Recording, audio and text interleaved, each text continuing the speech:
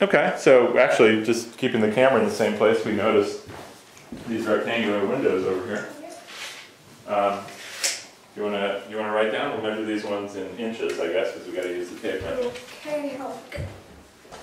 Alright, this, let's do this length down here. Okay. Uh, just be careful. Be sure about what you're measuring. I'm measuring it from this post.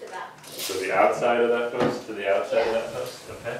So So, the corner is going to be on the outside of the post. All right. So how far is it? uh, 48 and a half. 48 and a half inches across. Okay. Now, high. All right. What do you want? Do you want to measure to the top, or do you want to measure to the window? Let's measure to the top. To the top. Okay. I'll put that. I'll put that on the top. And then to here. Actually, it doesn't quite go to there. Well, pull it longer, and then just kink it down at the bottom yeah. so you can see. 79. 79. Okay, and then the diagonal. Now remember, you were doing to the outside. Yep. To the outside. There. 90.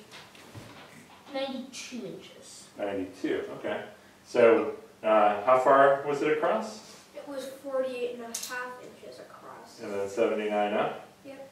And then 92 across. All right, let's see how, let's return to the table and see how good a job we did measuring. And um, I think I have a calculator on my phone, so we can do that pretty quick. All right? Yeah. All right, good job, guys.